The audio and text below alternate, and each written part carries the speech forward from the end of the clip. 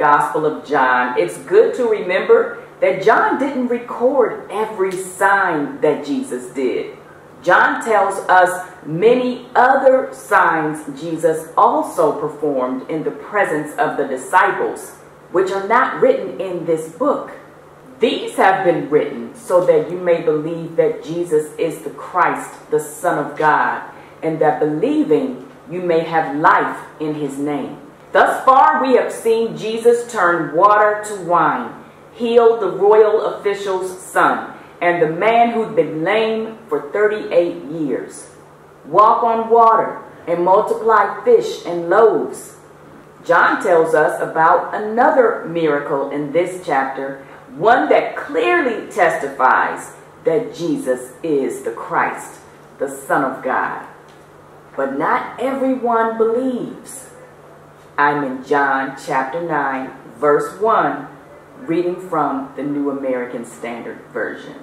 As he passed by, he saw a man blind from birth. And his disciples asked him, Rabbi, who sinned, this man or his parents, that he would be born blind? Jesus answered, It was neither that this man sinned nor his parents, but it was so that the works of God might be displayed in him. We must work the works of him who sent me as long as it is day. Night is coming when no one can work. While I am in the world, I am the light of the world.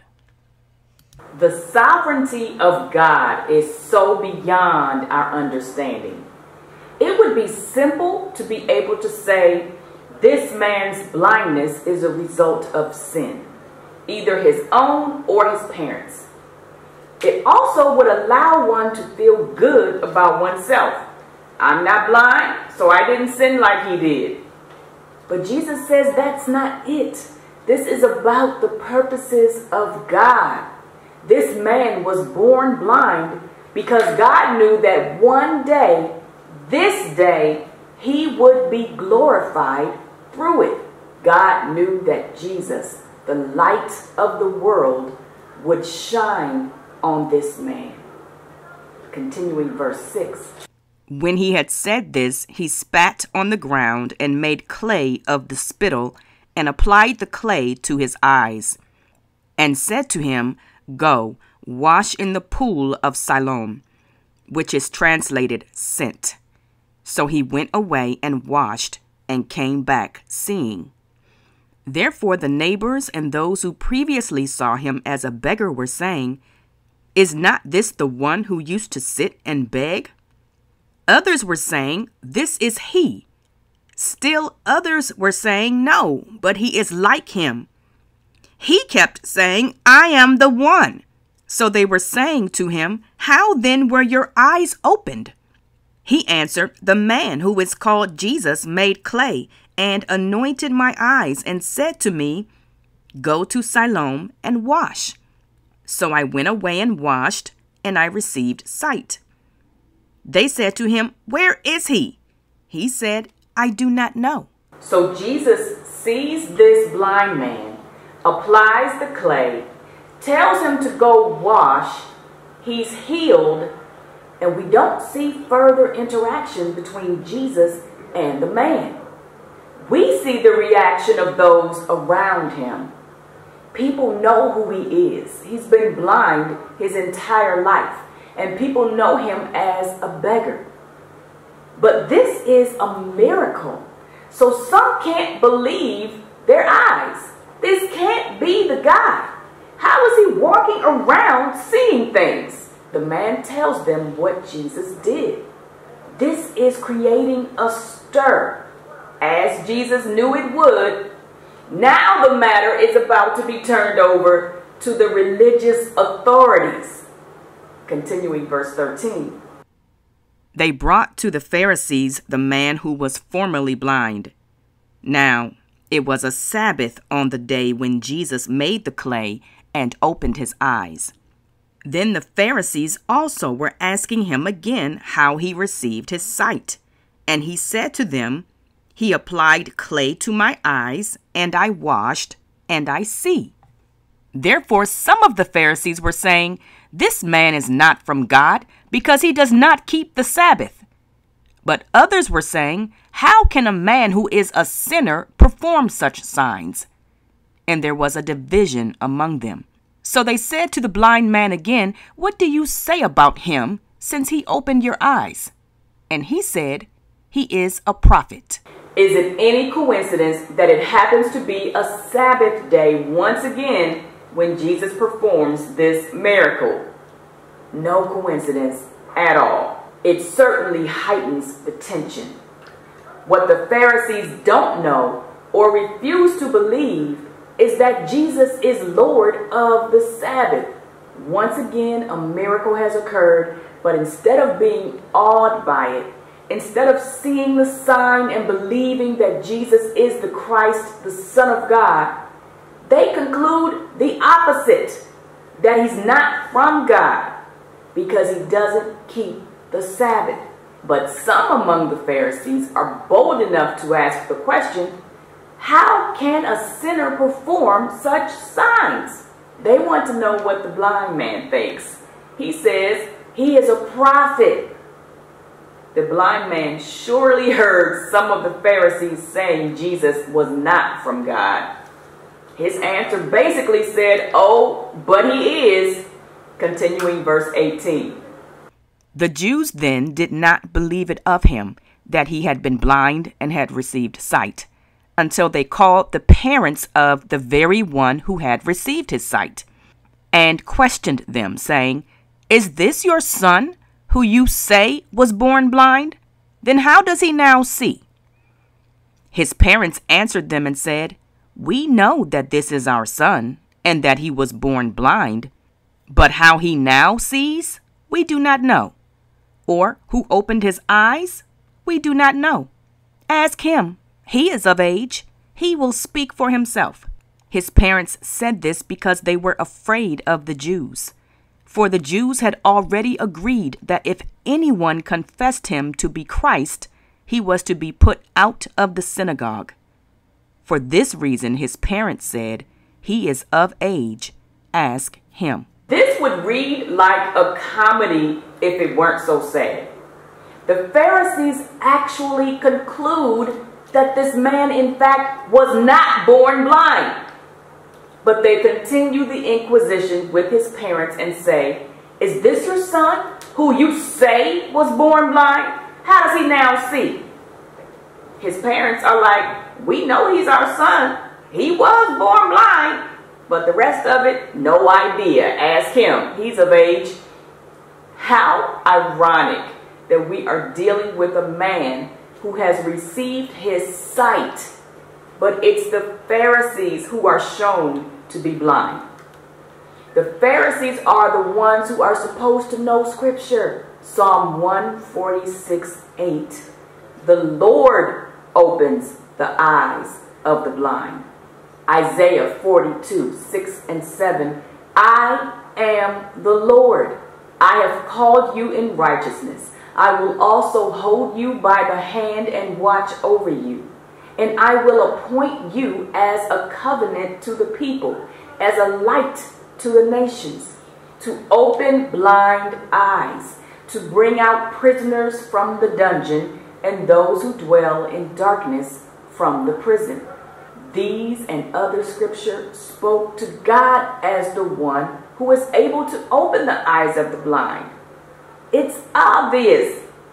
But the Pharisees are so spiritually blind that they can't see the obvious, that this is God at work.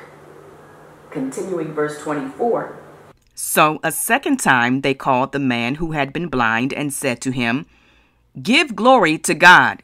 We know that this man is a sinner. He then answered, Whether he is a sinner, I do not know. One thing I do know, that though I was blind, now I see. So they said to him, What did he do to you? How did he open your eyes? He answered them, I told you already, and you did not listen. Why do you want to hear it again? You do not want to become his disciples too, do you? They reviled him and said, You are his disciple, but we are disciples of Moses. We know that God has spoken to Moses, but as for this man, we do not know where he is from. The Inquisition continues. They call the blind man a second time. And the first question is not a question at all. They say, We know this man is a sinner. I guess they want the man to agree. And maybe they'll let him go his way. But this man is wonderfully cynical. I love it. I don't know if he's a sinner, but I'll tell you what I do know. I was blind, now I see. What a testimony. Raise your hand if you can say the same. I was blind, but now I see. This man has no fear of these Pharisees. His parents were very careful in how they responded to questions, but he's refusing to even answer more questions. I already told you, and you didn't listen. And he even gets snarky. You don't want to be his disciples too, do you? And this, this, the Pharisees say they know Moses was from God. But as far as this man, we do not know where he is from. Despite everything Jesus has said and done in the last chapter, chapter 8, verse 42, Jesus told them, I proceeded forth and have come from God. But he added, Why do you not understand what I'm saying? It is because you cannot hear my word. Remarkably, the blind man speaks to this truth. Look how he answers them. Continuing verse 30. The man answered and said to them, Well, here is an amazing thing that you do not know where he is from, and yet he opened my eyes. We know that God does not hear sinners, but if anyone is God fearing and does his will, he hears him. Since the beginning of time, it has never been heard that anyone opened the eyes of a person born blind. If this man were not from God, he could do nothing. They answered him, You were born entirely in sins, and are you teaching us? So they put him out. I cannot wait to meet this man in heaven. His boldness is incredible. He didn't care. He basically said, Go ahead, put me out. But y'all are crazy if you can't see that this is God. The miracle in this story is not just that this man's physical eyes were opened, but that his spiritual eyes were open. The Pharisees, prideful, have to put him down before they put him out. You were born entirely in sins, and you're teaching us. Jesus said this man had been born blind so that the works of God might be displayed in him. God is getting all the glory through this man. The light of Jesus is shining through him. Continuing verse 35. Jesus heard that they had put him out, and finding him, he said, do you believe in the Son of Man? He answered, Who is he, Lord, that I may believe in him? Jesus said to him, You have both seen him, and he is the one who is talking with you. And he said, Lord, I believe. And he worshipped him. And Jesus said, For judgment I came into this world, so that those who do not see may see, and that those who see may become blind. Those of the Pharisees who were with him heard these things and said to him, We are not blind too, are we? Jesus said to them, If you were blind, you would have no sin. But since you say, We see, your sin remains. Jesus is saying if you were humble enough to recognize that you're blind, lost, in need of a Savior, you would have no sin. Their sin is the sin of unbelief. But because they are arrogant, thinking they see or understand the truth while rejecting the Son of God, they remain in their sin. I have to go back to this one line by the blind man. The former blind man who basically said, I don't know about the other stuff you're talking about, but here's what I do know. I was blind, now I see. Is that your testimony? That you know there was a time when you couldn't see, you couldn't understand that you were in sin, that you were in need of a Savior, you couldn't understand the gospel. But because of the grace and mercy and love of God, you now see. Your eyes are open to the truth. And like the former blind man, you say, Lord, I believe. There was a time we were blind to our need to cling to God. But now, eyes opened, we know we are desperate to cling.